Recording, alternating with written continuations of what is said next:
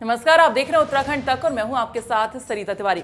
उत्तराखंड राज्य बनने के बाद से लगातार उत्तराखंड की जनता ज़मीन को भूमाफियाओं से बचाने के लिए भू कानून की मांग करती आई है। जैसे हिमाचल ने एक सख्त भू कानून बनाकर प्रदेश की ज़मीन को भूमाफियाओं के चंगुल से बचाया और अब पुष्कर सिंह धामी के मुख्यमंत्री बनने के बाद एक उच्च स्तरीय कमेटी यहाँ पर बनाई गई उन्होंने। और ये कमेटी बनाने के बाद अब कमेटी लगातार इस पर अध्ययन कर रही है कि जो हिमाचल का भू कानून है वो कैसा है, उसकी तर्ज पर ये कानून अब लाया जा सकता है।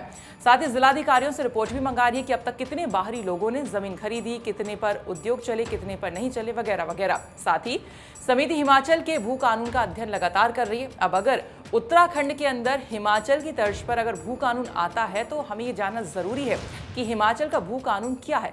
दरअसल साल उन्नीस सौ बहत्तर में हिमाचल में एक विशेष कानून बनाया गया और ऐसा इसलिए किया गया ताकि दूसरे राज्यों के अमीर लोग और अमीर उद्योगपति लोग प्रदेश में जमीनें ना खरीद सकें, क्योंकि 1970 के दशक में हिमाचल की जनता आर्थिक तौर पर इतनी मज़बूत नहीं हुआ करती थी। लोगों को डर था कि लोग अपनी जमीनें यहाँ पर बेच देंगे और हिमाचली जो लोग हैं वो भूमिहीन हो जाएँगे। फिर प्रदेश के पहले सीएम यानी डॉक्टर यशवंत सिंह परमार की सरकार ने एक कानून बनाया और Himachal Pradesh tenancy and land reform act उन्नीस सौ बहत्तर में विशेष प्रावधान किया।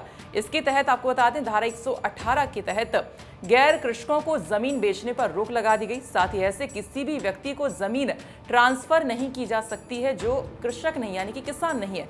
फिर 2007 में धूमल सरकार आती है और उन्होंने इसी धारा, यानी 118 में संशोधन किया और प्रावधान ये किया कि बाहरी राज्य का व्यक्ति जो हिमाचल में कम से कम 15 साल रहा हो, वो ज़मीन खरीद सकता है।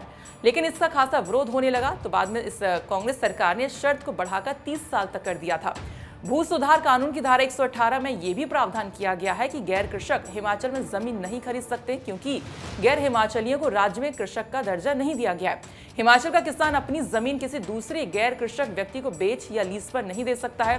सिर्फ़ हिमाचल का किसान ही वहाँ ज़मीन को खरीद सकता है। और अगर कोई निवेशक हिमाचल आएँगे तो यहाँ के लोगों के लिए अलग से प्रोविज़न इस धारा में बनाया गया है।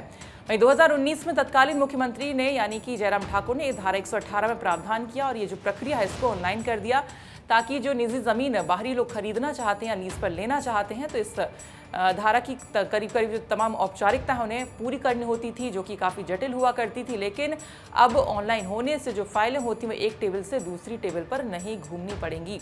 तो फ़िलहाल इसी के साथ इस वीडियो में इतना ही। बाकी खबरों के लिए आप देखते रहिए उत्तराखंड तक। नमस्कार।